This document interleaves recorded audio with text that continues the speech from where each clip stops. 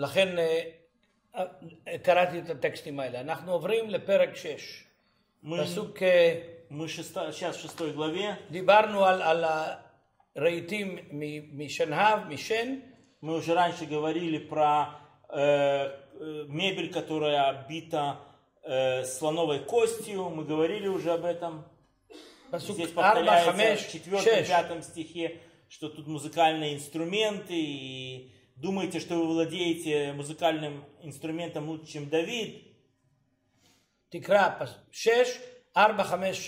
я читаю, вы, которые лежите на ложах из слоновой кости и нежитесь на постелях ваших, Едите лучших овнов и стада, и стада, и тельцов стучного пастбища.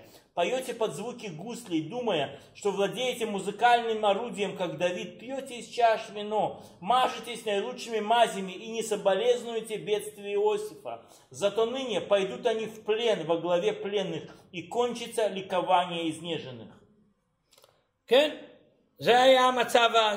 И это вот ситуация, которая присутствовала в те времена.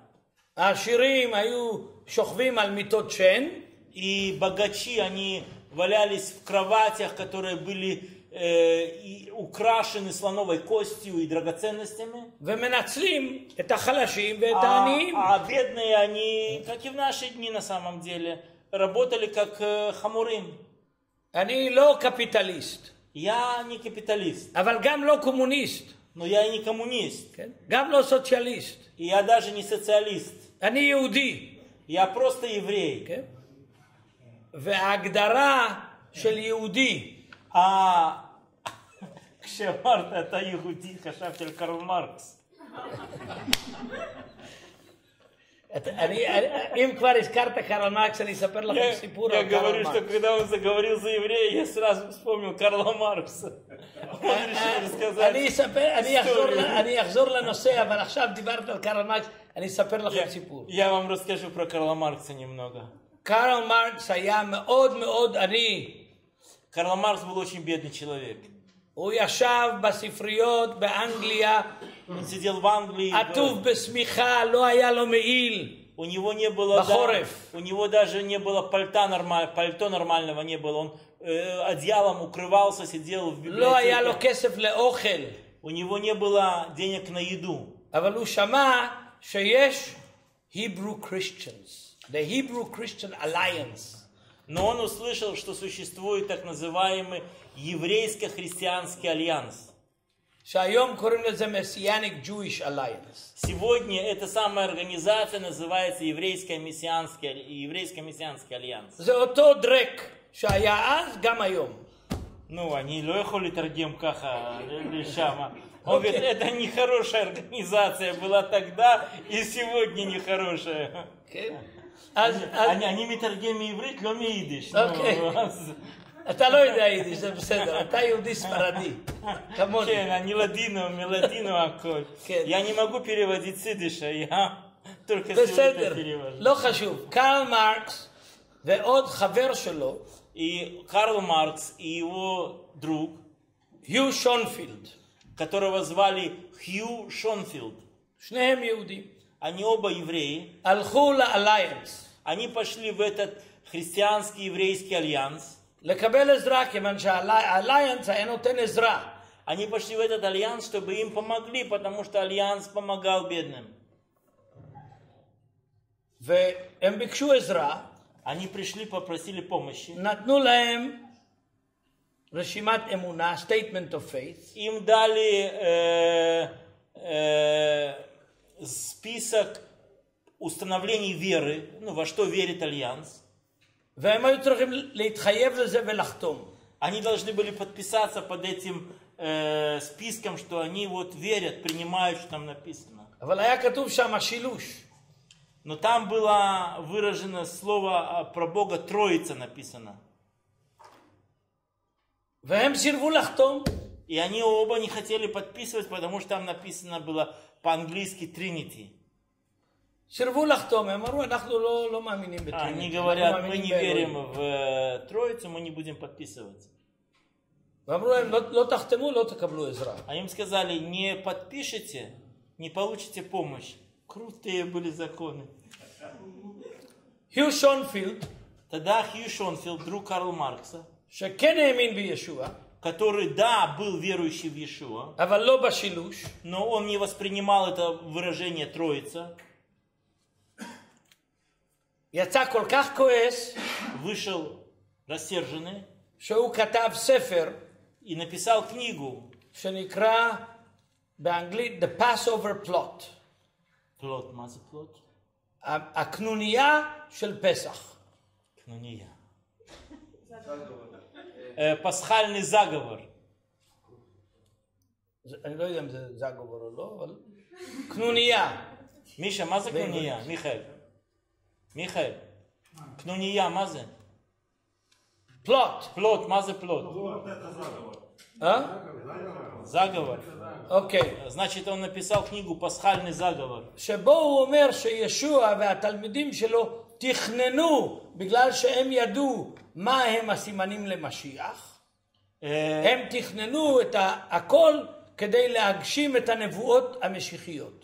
А он написал книгу, в которой он э, пои- предположил, что Иешуа и его ученики, которые знали мессианские предсказания или пророчества, они как бы спланировали все и описали это все должным образом. נגד ישוע הוא כתב То ספר. есть он, который, אבל הוא היה מאמין בישוע, כן? אבל אחרי שזרקו אותו מהאליינס, А, ну он, он О, был вообще, каас колках, что поначалу он он был азаб это верующий в Иешуа, но из-за того, что его выгнали, не дали ему помощи, то, что его заставляли, он написал пасхальный заговор, книгу против Иешуа. ואני הייתי ב-85 עם דוד שטרן באנגליה, В 1985 году вместе с Давидом Штерном я был вместе с ним в Англии, ודוד אמר למה שלא נלך לבקר את היו שונפילד. и мы пошли навестить Хью Шоунфилда. הוא היה כבר בן 90, הוא היה חי? כן? איך זה יכול להיות? כן. קרל מרקס. היו שונפילד היה כבר חי מאוד מאוד זקן. אני ודוד שטרן ביקרנו אותו אישית, רגע, ו... שמענו את הסיפור הזה מהפה שלו. אני לא מבין, מתי קרל מרקס מת? מזמן. אז מה, איך זה יכול אז להיות? הוא היה יותר צעיר מקרל מרקס. Хью Шонфилд еще был жив в 1985 году, потому что тогда он был молодым мальчишкой, а Карл Маркс уже был постарше намного. Короче говоря, мы услышали эту историю из уст самого Хью Шонфилда. ודיברנו איתו על ישוע. И мы стали разговаривать с Хью Шонфилдом о Иешуа. והוא אמר תתפללו בשבילי, И он сказал, помолитесь обо мне, שאלוהים ייתן לי חיים לכתוב ספר чтобы Бог позволил мне и дал жизнь написать книгу, כדי לתקן את כל הנזק שאני עשיתי чтобы я мог в ней исправить всю ту, то заблуждение и, и вещи плохие, которые я написал и сделал, чтобы я мог исправить их. Вау. Он э, молился и просил прощения у Господа Бога, у Иешуа.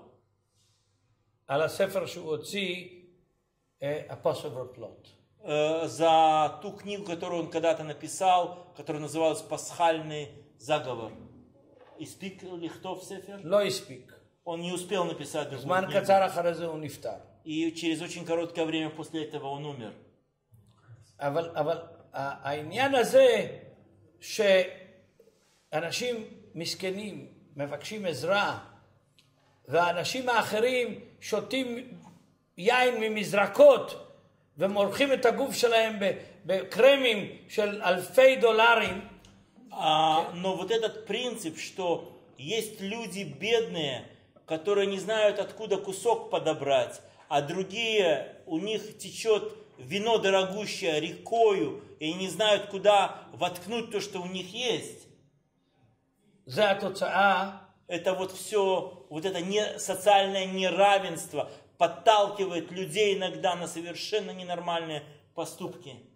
Карл Маркс лот тамид хая негед Элоим. Карл Маркс по своей жизни не всегда был против Бога.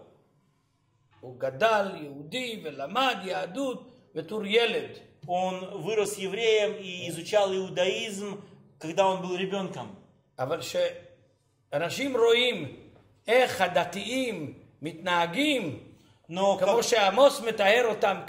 Но, когда люди видят, как некоторые религиозные авторитеты живут и обращаются с другими людьми.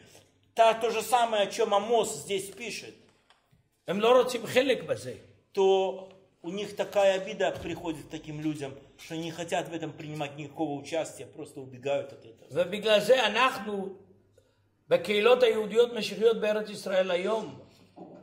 Хаявим. И именно поэтому сегодня в наших еврейских мессианских общинах мы обязаны в Израиле, чтобы наше свидетельство было не только в словах и бла-бла-бла бесконечных.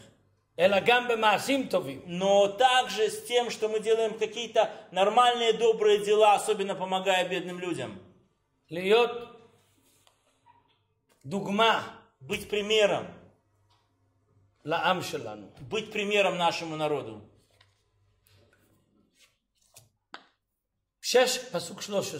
Шестая глава, 13 стих. Вы, которые восхищаетесь ничтожными вещами и говорите, не своей ли силой мы приобрели себе могущество? Это Это огромная, החטא огромная ההיסטורי של проблема, עם ישראל. историческая проблема нашего народа. ראינו את זה בפרק 14 של הושע, Осия говорит о том же самом в 14 главе. שהוא אומר, אנשים חזרו, חוז, חוזרים בתשובה ואומרים, על סוס לא נרכב ואנחנו לא נסמוך יותר על הכוח שיש לנו ולא נגיד למעשה ידינו, אנחנו עשינו את זה. И он говорит там, мы не будем больше говорить своими руками, мы это сделали, на лошади мы въехали и победили. עמוס אומר את אותו דבר בפסוק 13. 13 стих, то есть здесь вот сильнейшее обличение. Вы восхищаетесь ничтожными вещами и говорите не своей ли силой, то есть это гордыня, это вот верх гордости. Я могу чего-то сам. אנחנו עכשיו שנים אחרי מלחמת, מלחמת ששת הימים. Прошло много, много, много лет после шестидневной войны. במלחמת ששת הימים אני הייתי חייל. Во время шестидневной войны я был солдатом. אני לא הייתי לוחם, Я не был на фронте там, в перест- э, стрельбах. בגלל שאני לא רואה בעין אחת, אז לא הייתי, Я не вижу одним глазом, поэтому Лохем. я, я не был э, в боевых войсках. אבל הייתי במפקדה בירושלים. Но я был в Иерусалиме в крепости. ובין המפקדים, הסתובבתי בין המפקדים, И я там был между, э, Алуфим. между генералами, я э, был там, где были большие начальники. ואחד האלופים הדתיים, И один из религиозных генералов ביום האחרון של המלחמה, в последний день войны אמר, אנחנו צריכים להודות לאל על ההישג הגדול הזה ששחררנו את ירושלים. Он сказал, мы должны Творца поблагодарить за эту великую победу, что мы освободили Иерусалим. אלוהים נתן לנו את זה. Это Бог, который дал нам вернуть себе Иерусалим. משה דיין הסתובב אליו, И там был такой товарищ, все его знают, Моше Даян. Он повернулся к нему, ואמר לו, לא, и он сказал, нет, אנחנו צריכים להודות לצה"ל. мы должны поблагодарить армию обороны Израиля. אנחנו עדיין משלמים את המחיר שאין לנו שלום. המצב שלנו יותר גרוע היום בעולם Машая Аз. И мы до сегодняшнего дня платим цену за этот бунт, который Моше Даян своими устами выпустил против Бога, потому что наше положение Израиля, имея в своих руках Иерусалим в международной обстановке, хуже, чем было в те дни. Шалом эн. А, а мира не было, и нет, и не было, и не будет. כיוון שהגאווה הזאת שאנחנו עשינו את זה Потому לדעת, что мы сделали это, вот эта вот гордость, это паразит. בידינו בעוצם חוק, Своими כוחנו, руками, עשינו את כל העבודה нашими הגדולה силами, הזאת. все это мы совершили. זה החטא ההיסטורי של עם ישראל. Это исторический грех нашего народа. בברית חדשה החטא הזה מופיע בלוקאס 17. В 17 главе Луки в Новом Завете этот грех опять проявляется. שישוע הולך דרך השומרון לירושלים, מנצרת, ל- מהגליל לירושלים, הוא Из- עובר Иешуа из Галилеи דרך שכם, через Самарию и Шхем идет в Иерусалим. והוא פוגש עשרה מצורעים, И он встречает 10 прокаженных. И Писание там рассказывает, что он исцеляет всех 10. והוא שולח אותם לירושלים לקבל את הטיהור הסופי מהכהן על פי התורה. И он говорит этим десятерым, пойдите в Иерусалим, покажите священнику, и пусть он подпишет вам бумагу, что вы совершенно чистые, что вы очистились совершенно. הם מיהרו ללכת לירושלים. Они пошли в Иерусалим, רק אחד מהעשרה и только один из десяти написано там в 17 Он вспомнил, что о, забыли целителю спасибо сказать. Ухазан Иешуа? И написано там, он вернулся к Иешуа. Вабикеш, амарло тодараба. И он упал на свои колени и поблагодарил Мессию Машеха за великое исцеление и очищение. Иешуа рак омер. А еще сказал только два слова. Он сказал, «А где же те девять? Это наша болезнь, друзья. Мы не умеем быть благодарными Господу Богу за все те благодеяния, которые переживаем по жизни ежедневно. אז במקום זה אנחנו מקבלים את המכות И שאלוהים נותן именно לנו. поэтому мы частиком получаем эти наказания плюхи, которые Бог высвобождает нам.